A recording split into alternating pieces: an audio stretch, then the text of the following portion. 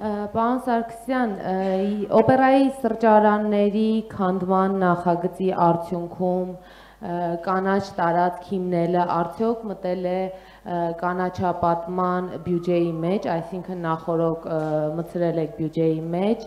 եւ դրա գումարն է հաշված կանաչապատման մեր չարաբաստիկ բյուջեի մասում։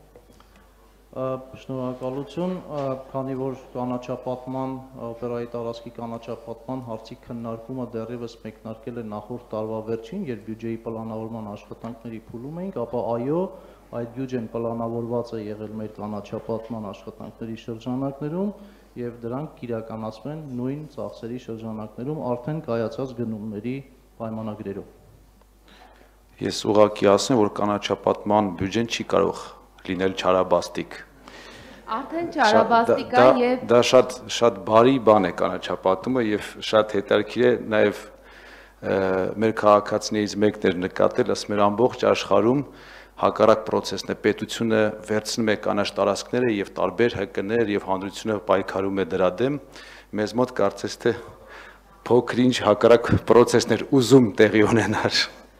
Պարոն քաղաքապետ, մենք միանշանակ մեր խմբակցությունով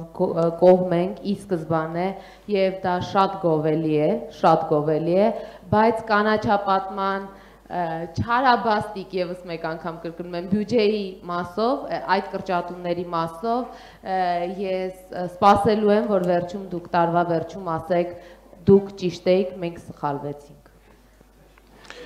Ես վստահեցնում եմ իմ հետ խոսելուց հանգիստ կարող եք խոսել, ես ձեզ դատի չեմ տալու, ինչ ուզում եք ասեք։